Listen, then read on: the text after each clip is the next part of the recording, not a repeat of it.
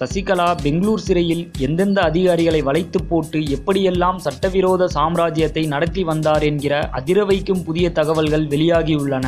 பெங்களூர் சிறையில் சசிகலா சொகுசு வாழ்க்கை வாழ்ந்ததை முன்னாள் டிஐஜி ரூபா அம்பலப்படுத்திய நிலையில் புதிய கடிதம் ஒன்றில் ஏராளமான அதிர்ச்சி தகவல்கள் இடம்பெற்றுள்ளன. சிறை கண்காணிப்பாளர் அறையை சசிகலா கட்சி அலுவலகம் போல் பயன்படுத்தி சுமார் இரண்டு மணி நேரம் ஆலோசனை நடத்தியுள்ளார். இப்படி சசிகலாவை சந்திக்க வரும் விஐபிகள் பெயர்கள் ரெஜிஸ்டரில் இடம்பெறுவதும் இல்லையாம். மேலும் சசிகலாவின் சமையலறைக்கான காய்கறிகள் அத்தியாவசிய பொருட்கள் சப் இன்ஸ்பெக்டர் அஜராஜ் சிறைக்குள்ளேயே ஒரு தனி அறையில் வைத்து பராமரித்து வருவதும் வாடிக்கையாம்.